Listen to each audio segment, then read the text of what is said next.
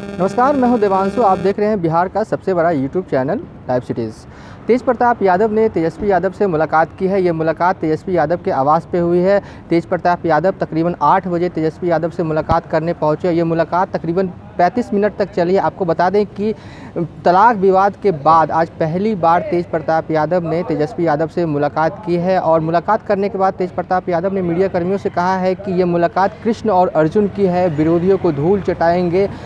मुलाकात में सिर्फ़ राजनीतिक चर्चा है। हालाँकि इसके बाद भी उन्होंने कहा कि जो नौ तारीख की जो दिल्ली में आरजेडी की जो धरना था वो कैंसिल कर दिया है।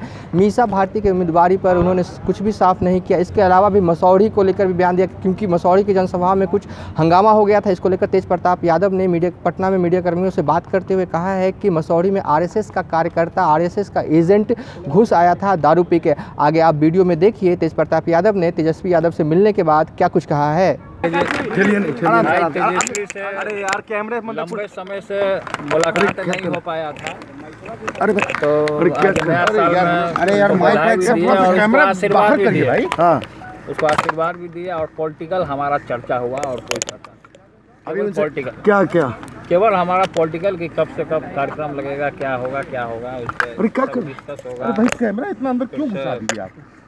अजीब स्थिति है जी का जो निर्देश होगा हम दोनों भाइयों का पालन करने का काम करना अच्छा केवल पॉलिटिकल चर्चा। कैसे घुसा पॉलिटिकल चर्चा पॉलिटिकल चर्चा सिर्फ़ हुई?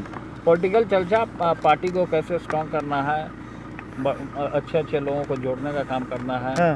इस पे खाली चर्चा है। तेजा दोनों भाइयों में दोनों भाइयों में काफ़ी लंबे समय से मुलाकात नहीं हुई थी। जब आप लोग दोनों आदमी मिले मुलाकात कृष्ण और अर्जुन का मुलाकात है। अरे माइक नीचे चला था इस मुलाकात से माइक जितने नीचे भी बिहार में कर दुश्मन है या देश भर में दुश्मन है वो धाराशायी हो अच्छा नौ तारीख को नौ तारीख को जो दिल्ली में धरना होने वाला है उसमें जरा सा अमित अमित तारीख को उसको अभी स्थगित कर दिया गया है। नौ तारीख को जो धरना था। माइक ग्यारह तारीख को पिताजी का वो आने वाला है तो उसको लेकर के अभी नौ तारीख हाँ, हाँ, हाँ। अ, कार्यक्रम स्थगित कर दिया अच्छा पाटलिपुत्र सीट को लेकर के अभी अमित, अमित, माइक नीचे।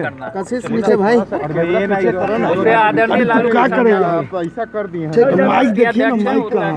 कशिश भाई नीचे करो यार आईडी कल जनता दरबार रहेगा उसमें सब मीडिया के भाई लोग है। मसौड़ी वाली घटना आपके साथ मसौड़ी में क्या हुआ था? मसौरी में कोई आरएसएस का एजेंट दारू पी करके वहाँ तमाशा किया है? केवल उसको मैं बाहर करने का काम किया हूँ बस।